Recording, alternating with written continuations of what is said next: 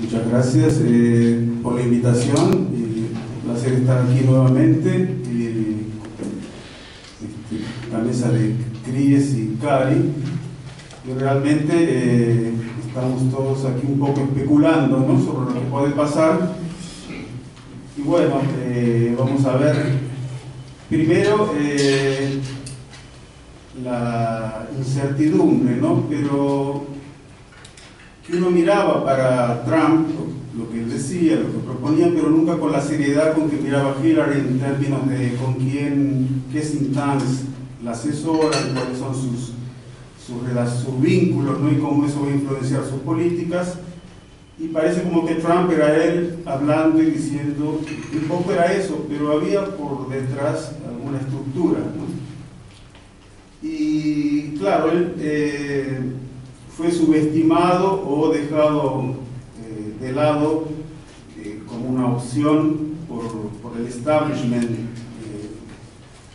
una parte económica, una parte del establishment de los medios de comunicación y también de los principales think tanks. uno de los nombres que aparece, ahora aparece menos, para secretario de Estado es John Bolton lo interesante es que una política exterior de John, eh, conducida por John Bolton, de acuerdo a lo que él piensa, lo que escribió y lo que hizo cuando era, eh, fue miembro del Departamento de Estado en la época del primer gobierno Bush y fue eh, embajador en las Naciones Unidas en el segundo. Sería una política exterior totalmente diferente de lo que Trump dijo. ¿No? con relación a Rusia es totalmente antagónico, es una eh, política más intervencionista. Pero ¿qué pasa? Trump, eh, Bolton trabaja en el American Enterprise Institute y el vicepresidente del American Enterprise Institute dijo en algún momento públicamente en una entrevista que consideraba a Trump un idiota. Eh, o sea, ningún think tank de los más importantes apoyó a Trump, con excepción de uno que vale la pena tener en cuenta, que no es que lo apoyó directamente, porque como asociación eh, sin fines lucrativos no puede emitir una preferencia, pero le abrió puertas, eh, inclusive Trump en algún momento sugirió nombres para la Suprema Corte que eran los mismos nombres de esa institución, que es la Heritage Foundation es una institución muy importante, conservadora, que tiene un programa paralelo que se llama Heritage Action for America, que es un programa de, acciones conservadoras, no conservadoras, yo estoy diciendo que son conservadoras, ellos dicen acciones para una América conservadora que van directamente a la administración pública, o sea, tiene una serie de políticas de especialistas para trabajar temas de administración pública desde lo que sería una perspectiva conservadora, también en la política exterior, pero más en la política interna. Y claro, Trump es alguien que supo captar el descontento de ciertos sectores con el establishment, con la globalización, con su calidad de vida, supo captar ese descontento, ganó, y, pero ahora tiene que entregar algo o sea, tiene que entregar políticas concretas y no tiene políticas. Y ese vacío, interesante que de repente una, institución muy poderosa que tiene gente muy capacitada, con claridad, de lo que sería un gobierno conservador en una serie de aspectos, le aparece como una posibilidad de contar con, eh, ¿no? con su grupo íntimo que no es muy eh, cualificado, sino con un programa listo para gobernar puntos clave de la administración. Y eso pasó un poco, si se acuerdan, con Bush, no que no tuviera equipos, pero cuando vino el 11 de septiembre y había ese desconcierto, había un grupo de Project for the New American Center que tenía un proyecto concreto para un momento de crisis donde se necesita, alguien te dice, hay que hacer esto. Fue cuando ese sector neoconservador, que ya estaba en el gobierno, pero adquirió un poder mucho mayor. Y hay que pensar en esa cuestión de Trump, alguien que no tiene ideas claras sobre qué hacer a partir de lo, de lo que él colocó como importante para Estados Unidos en la campaña y va a necesitar realmente políticas y eh, gente calificada para eso. Y esa situación está apareciendo en la selección de gente para el, ministerio, porque el Departamento de Estado aparecía Bolton, después Giuliani, ¿eh? Giuliani sería alguien más del perfil de Trump, que eh, como consultor tuvo clientes eh, en Rusia, o sea, no es alguien tan cerrado en ese sentido, pero ya lo están bombardeando y hoy apareció la gobernadora de Carolina del Sur, que no tiene nada que ver con política exterior, David Patrus, que era de la CIA. Eh, Kissinger fue a encontrarse, no es que Kissinger va a ser, pero fue a encontrarse con él, ¿no? Para discutir. O sea, eso muestra un poco que no se sabe muy bien para dónde irá la situación. Y hay una cuestión importante que es eh, esa idea de recambio de élites, o sea, nuevas élites que quieren un espacio con un, con un discurso muy anti-establishment, pero que en el fondo es un discurso más resentido, quiero estar ahí, ¿no? Es un discurso calificado, soy contra ese establishment porque es opresor, quiero estar ahí. Y eso aparece eh, mucho con el, aquella eh, Brandon que, que, colocó como su asesor, de aquellos eh, blogs más de ultraderecha, supremacistas, ¿no? un poco vencimos a la élite de, los medios de comunicación y ahora queremos tener un espacio, ¿no? Entonces eso genera, no es que Trump sea alguien que de repente es contra el libre comercio, porque algo así, y va a tener políticas contra el libre comercio, de repente puede tener políticas opuestas, o sea, no se sabe muy bien, ahora que llegó al gobierno, eh, él puede adoptar eh, posiciones muy diferentes. Entonces, eh, pensando en América Latina, ¿no?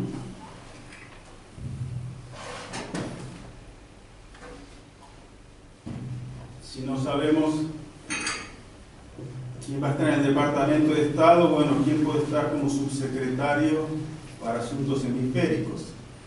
De repente, eh, si ponen a alguien como Roger Noriega, él, dijo, sí, está de acuerdo con Trump, va a tener a alguien que va a estar todo el tiempo pensando cómo revertirlo de Cuba, ¿no? Aunque Trump no sea por principio contra eh, la normalización de relaciones con Cuba, de repente va, puede poner a alguien ahí que está sin, sin oponerse abiertamente, va a estar todo el tiempo buscando formas de comprometer esa, esas, eh, volver atrás. Entonces es difícil saber hasta que no se tenga claramente cuál va a ser el gabinete, las políticas, pero digamos, yo eh, traje dos slides aquí, porque si uno ve eh, desde Bush hasta Obama, eh, los programas del Departamento de Estado, o sea, los programas que el Departamento de Estado financia en, el hemisferio, y mira las prioridades, uno se da cuenta que no hay muchas diferencias, o sea, hay una constante hay una constante, y yo no me imagino que Trump, ¿se escucha bien? Eh, yo no me imagino que Trump vaya a hacer un corte drástico, inclusive porque no hay mucho que cambiar. Eh, cuando Andrés colocaba inicialmente, América Latina va a ser menos importante o menos prioritaria para Estados Unidos. Pero ya es, desde Bush, yo no lo veo como un problema y no sé si es menos prioritaria porque no sea importante, sino porque tal vez es una región que no le genera preocupaciones en términos de seguridad a Estados Unidos. Entonces, eso aparece claramente en el presupuesto, ¿no?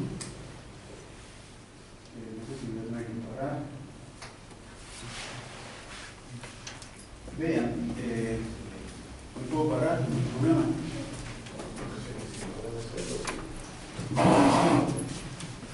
Porque Eh,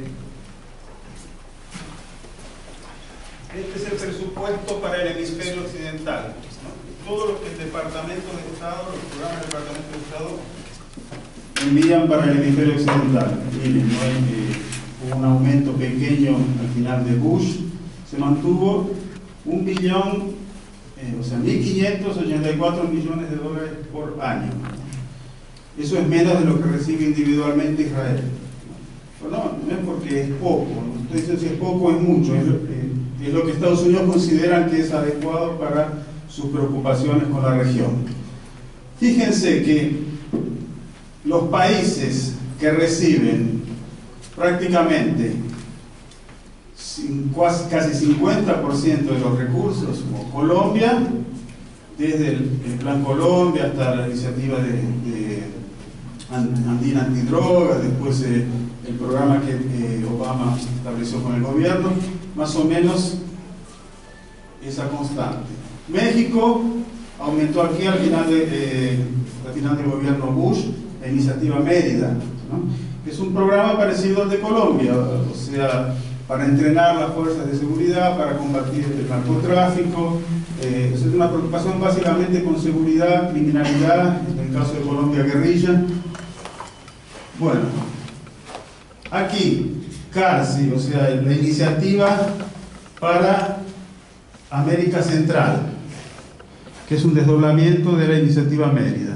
También las mismas características, ¿no? entrenar fuerzas de seguridad para eh, combate al narcotráfico y la iniciativa del Caribe que fue anunciada por Obama en la cumbre de, de Trinidad y Tobago. Y esos son los ejes principales de los recursos. Casi 50% va para eso.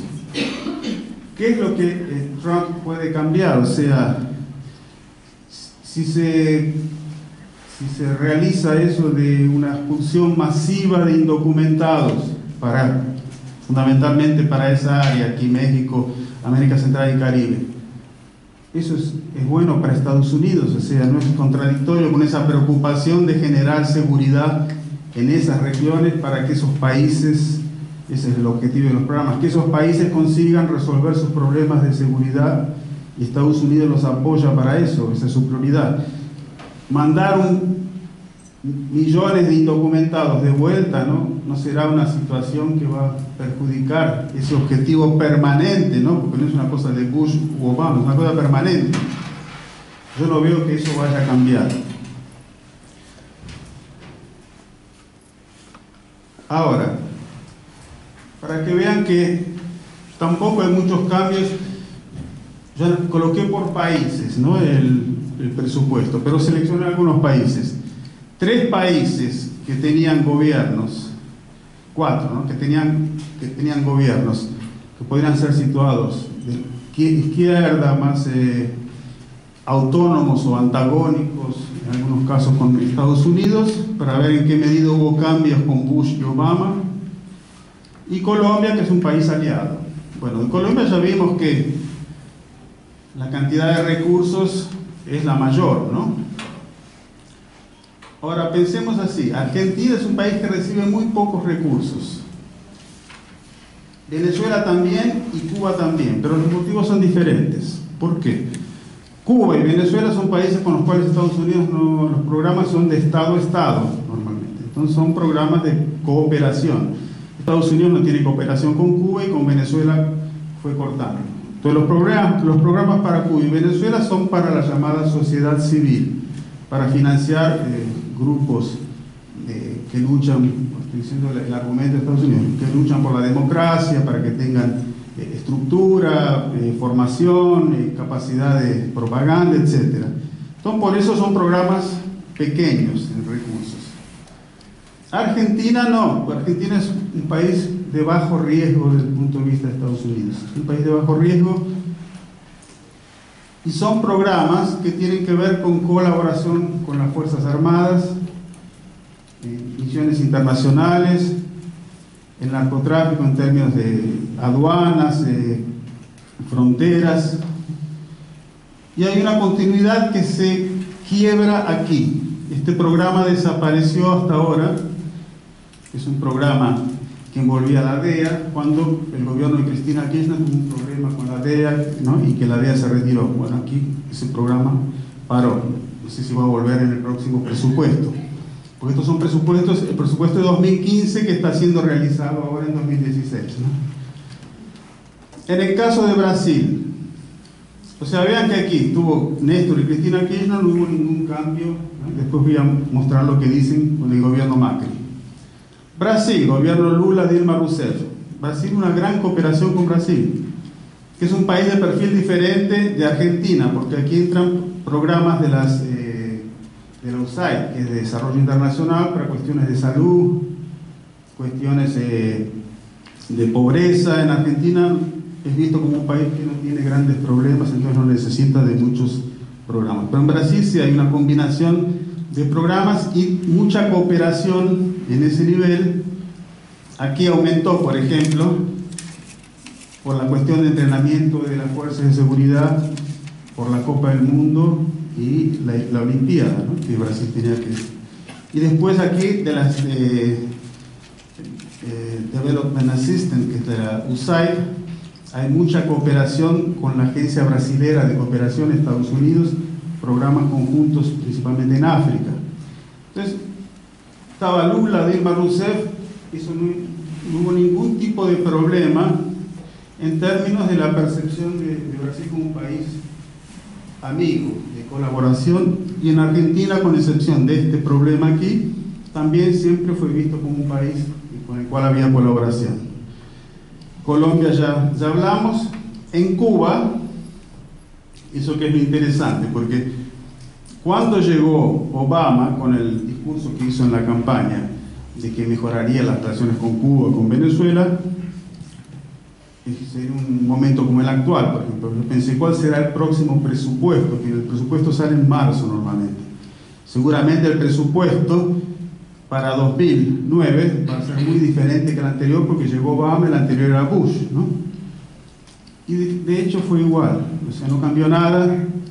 Y ahí me explicaron que justamente como el presupuesto es hecho en eh, enero, febrero, eh, la burocracia es la misma, no cambió. Entonces, en la misma redacción, las mismas, los mismos programas. Pero bueno, que el año siguiente cambiaría. No cambió tampoco el año siguiente, de Cuba y Venezuela solo cambió después, cuando los recursos, tanto en Cuba para Venezuela, eran para la sociedad civil, pero ya no colocaban como argumento la necesidad de un cambio de régimen político. Entonces sí, con, con Bush había una, explícitamente se colocaba la necesidad de hacer un cambio de, de régimen político. Y a partir de aquí ya no. Entonces lo que yo, se me acaba el tiempo, eh, entonces, ¿qué quiero mostrar con eso? ¿Qué margen tiene Trump y qué sentido tiene cambiar esa trayectoria? Están las cuestiones de comercio que ustedes colocan, pero ¿qué sentido tiene cambiar esa trayectoria? ¿En qué afectará a América Latina el eventual gobierno Trump si todavía no tiene claro cuáles son eh, sus objetivos? ¿eh? Eh, fuera la cuestión del NAFTA, los indocumentados, la cuestión del muro, pero también está en discusión. Entonces diría que podemos pensar que es una gran incógnita y desde mi punto de vista, eh, analizando el pasado y la trayectoria de gobiernos republicanos y demócratas, yo no veo que haya margen para un cambio significativo en la política exterior. Claro, hay que preocuparse con Cuba, pero se avanzó mucho en las relaciones en términos de empresarios, e intercambios Estados Unidos y Cuba. O sea, que, ¿qué interés puede tener eh, el gobierno Trump de ir contra eso? Y la cuestión del libre comercio hay que ver también la política económica. Trump está poniendo personas en Ministerio de Economía está colocando nombres que son más próximos a Wall Street de lo que eran los que estaban con Obama. No va a ser una política, como algunos dicen, va a ser anti-neoliberal, ¿no? va a ser mucho más abierta al mercado en ese sentido. Y la Heritage Foundation, la, concepción que tiene en términos de economía, eh, de economía es supply side economics, eh, o sea, economía por la vía de oferta, que era la política de Reagan y de, y de, de Bush, ¿no? de, disminuir impuestos para los más ricos, aumentar el consumo de esa forma, estimular el crecimiento.